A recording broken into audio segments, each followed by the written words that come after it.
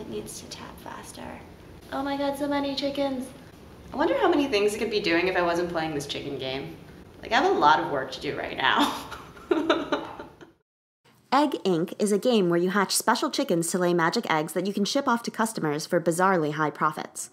A big part of the game is tapping a button to send chickens running from your hatcheries to your coops. If you don't want to tap the button, you can build a robot to tap the button for you, which I'll show you how to do later. The physics of the running chickens are really one of the most fun parts of the game, and the more chickens you have on the screen, the more money you make. It's really easy to distinguish between no extra profit and a lot of profit by looking at how many chickens are currently on the screen. Easily interpreted interfaces like this make for great glanceability. Glanceable interfaces give us an immediate sense of a more specific number, and they can sit unobtrusively in the background while we do other stuff.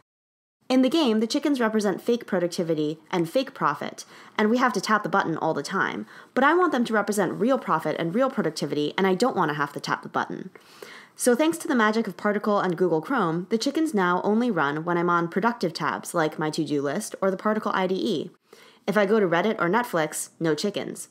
I even airplayed my game to the Apple TV upstairs so I could work while I have an ambient display of my productivity on the big screen. For more DIY electronics and design, check out the website.